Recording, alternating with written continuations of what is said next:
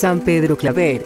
Pedro Claver padre y Juana Corberó, campesinos catalanes, tuvieron seis hijos, pero solo sobrevivieron Juan, el mayor, y los dos más pequeños, Pedro e Isabel.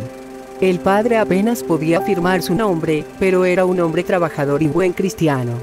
La infancia de Pedro quedó oculta para la historia como la de tantos santos, incluso la de nuestro Señor. Trabajaba en el campo con su familia. Pedro se graduó de la Universidad de Barcelona. A los 19 años decide ser jesuita e ingresa en Tarragona. Mientras estudiaba filosofía en Mallorca en 1605, se encuentra con San Alonso Rodríguez, portero del colegio. Fue providencial. San Alonso recibió por inspiración de Dios conocimiento de la futura misión del joven Pedro y desde entonces no paró de animarlo a ir a evangelizar los territorios españoles en América. Al llegar a América, Pedro encontró la terrible injusticia de la esclavitud institucionalizada, que había comenzado ya desde el segundo viaje de Colón el 12 de enero de 1510, cuando el rey mandó a emplear negros como esclavos. Se trata de una tragedia que envolvió a unos 14 millones de infelices seres humanos. Un millón de ellos pasaron por Cartagena. Los esclavos venían en su mayoría de Guinea, del Congo y de Angola. Los jefes de algunas tribus de esas tierras vendían a sus súbditos y sus prisioneros. En América los usaban en todo tipo de trabajo forzado, agricultura, minas, construcción. Cartagena por ser lugar estratégico en la ruta de las flotas españolas, se convirtió en el principal centro del comercio de esclavos en el Nuevo Mundo. Mil esclavos desembarcaban cada mes. Aunque se murieran la mitad en la trayectoria marítima, el negocio dejaba grandes ganancias.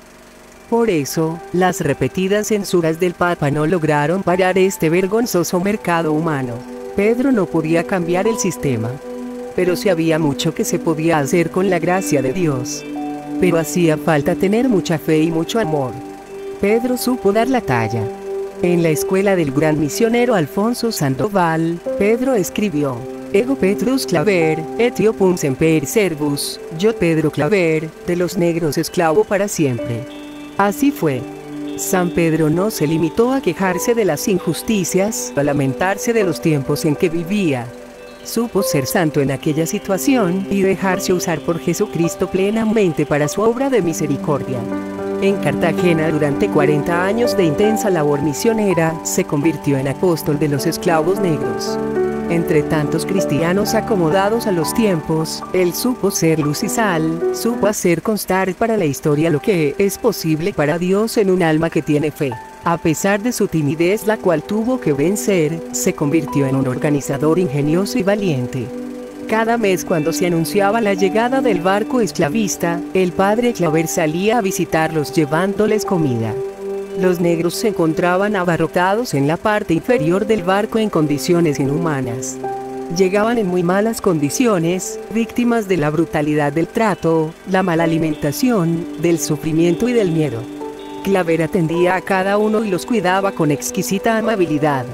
Así les hacía ver que él era su defensor y padre. Enseña a los esclavos. Los esclavos hablaban diferentes dialectos y era difícil comunicarse con ellos.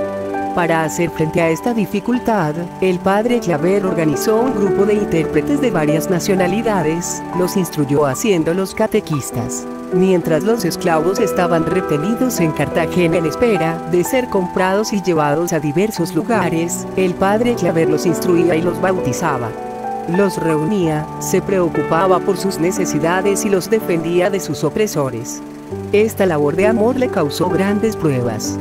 Los esclavistas no eran sus únicos enemigos. El santo fue acusado de ser indiscreto por su celo por los esclavos y de haber profanado los sacramentos al dárselos a criaturas que apenas tienen alma. Las mujeres de sociedad de Cartagena rehusaban entrar en las iglesias donde el padre Claver reunía a sus negros. Sus superiores con frecuencia se dejaron llevar por las presiones que exigían se corrigiesen los excesos del padre Claver. Este sin embargo pudo continuar su obra entre muchas humillaciones y obstáculos. Hacía además penitencias rigurosas. Carecía de la comprensión y el apoyo de los hombres, pero tenía una fuerza dada por Dios. Muchos, aun entre los que se sentían molestos con la caridad del padre Claver, sabían que hacía la obra de Dios, siendo un gran profeta del amor evangélico, que no tiene fronteras ni color. Era conocido en toda Nueva Granada por sus milagros.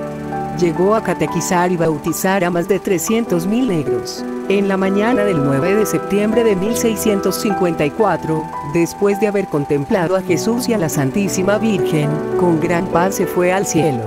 Beatificado el 16 de julio de 1850 por Pío IX canonizado el 15 de enero de 1888 por León XIII junto con Alfonso Rodríguez. El 7 de julio de 1896 fue proclamado patrón especial de todas las misiones católicas entre los negros. El entonces Papa San Juan Pablo II rezó ante los restos mortales de San Pedro Claver en la iglesia de los jesuitas en Cartagena el 6 de julio de 1986. Su fiesta se celebra el 9 de septiembre. Amén.